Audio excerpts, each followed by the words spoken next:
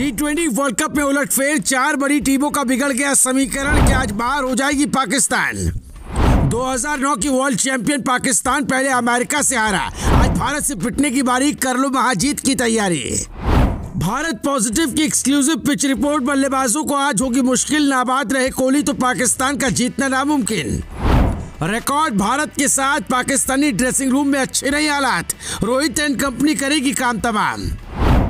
तैयारियाँ मुकम्मल हैं। फैंस भी बेकरार है। बस अब रात आठ बजे का इंतज़ार है। फिर शुरू हो जाएगा सबसे बड़ा मुकाबला, क्योंकि आज आमने सामने है दो सबसे कड़े प्रतिद्वंदी, यानी भारत और पाकिस्तान। वर्ल्ड कप टी में भारत, पाकिस्तान पर एक के मुकाबले छह जीत के साथ भारी है। लेकिन आज रोहित एंड कंपनी ने जीत की, खास तैयारी की है। टॉस जीतो और पाकिस्तान को वर्ल्ड कप से बाहर फेंको।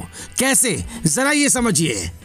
टी ट्वेंटी वर्ल्ड कप में अब तक चार बड़े उलटफेर हो चुके हैं। अमेरिका से हारकर 2009 की चैंपियन पाकिस्तान और अफ़गानिस्तान से हारकर 2021 की रनर अप न्यूजीलैंड की मुश्किलें बढ़ गई है। डिफेंडिंग चैंपियन इंग्लैंड दो मैच के बाद भी पहली जीत हासिल नहीं कर पाया। वहीं लगातार दो मैच हारकर 2014 की चैंपियन श्रीलंका ग्रुप स्टेज से ही बाहर होने के करीब पहुँच गया है।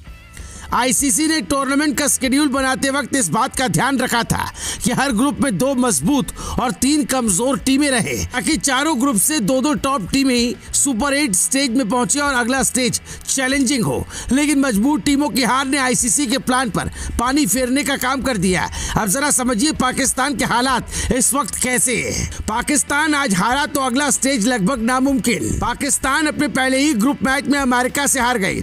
इस हार से टीम ग्रुप ए के पॉइंट टेबल में चौथे नंबर पर पहुँच गए आज उनका मुकाबला भारत से होगा। यहाँ अगर टीम हार गई तो लगातार दो हार से पाकिस्तान के सुपर आठ में पहुँचने की उम्मीदें कम हो जाएँगी। आज पाकिस्तान की हार के बाद अगर भारत ने कनाडा और अमेरिका ने आयरलैंड को हरा दिया तो दोनों ही टीमों के छः छः पॉइंट्स हो जाएँगे। ऐसे में ग्रुप ए से भारत और अमेरिका की दो टीमें क्वालिफाई हो जाएँगी। वहीं 2022 की रनर अप टीम पाकिस्तान का सफ़र ग्रुप स्टेज में ही खत्म हो जाएगा। पाकिस्तान पर पूरी तरह से वर्ल्ड कप से बाहर होने का खतरा मंडरा रहा है। उसे कोई बचा सकता है तो वो है सिर्फ़ न्यूयॉर्क की पिच और टॉस क्योंकि आज इंडिया पाकिस्तान का मैच उसी पिच पर होगा, जिस पर नीदरलैंड ने पहले बल्लेबाजी कर सिर्फ़ 103 रन का टारगेट दिया। साउथ अफ्रीका ने टी मैच के लिहाज से ये मामूली सा स्कोर भी उन्नीसवें ओवर में चेस किया था। वो भी छह विकेट खोकर। यानी आज की पिच पर गेंदबाजों की बल्ले बल्ले पाकिस्तान के पास शाहीन शाह अफरीदी मोहम्मद आमिर, हारिस रऊफ और नसीम शाह जैसे तेज गेंदबाज हैं। हालाँकि अमेरिका के खिलाफ ये पेस बैटरी फुस साबित हुई थी और 160 रन का स्कोर भी डिफेंड नहीं कर पाई थी। खैर, अब पाकिस्तान के आज के मुकाबले में जीत की दूसरी उम्मीद पर आते वो उम्मीद है टॉस। पाकिस्तान के खिलाफ टी ट्वेंटी में पहले गेंदबाजी करते हुए भारत का जीत का परसेंटेज 75 परसेंट है। जबकि टी ट्वेंटी वर्ल्ड कप में पहले गेंदबाजी करते हुए टीम इंडिया का विनिंग परसेंटेज 71.4 है। मतलब साफ़ है कि अगर भारत ने टॉस जीता और पहले गेंदबाजी की तो पाकिस्तान की हार तय हो जाएगी। और न्यूयॉर्क की पिच का भी यही रिकॉर्ड है। न्यूयॉर्क के नसाउ काउंटी स्टेडियम में अब तक चार मैच खेले गए। तीन बार बाद में बैटिंग करने वाली टीम जीती। यहाँ हाईएस्ट स्कोर एक सौ सैंतीस रन है। दो मैचों में पहली पारी का स्कोर सौ से नीचे रहा। मतलब ये कि आज के मुकाबले में जीत हार से पहले टॉस का सिकंदर होना ज़रूरी है।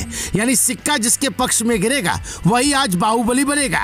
डेढ़ करोड़ भारतीय कह रहे रोहित पहले टॉस जीतो, फिर पाकिस्तान को पीटो, क्योंकि अब की बार देश मांगे world cup bureau report, Bharat positive.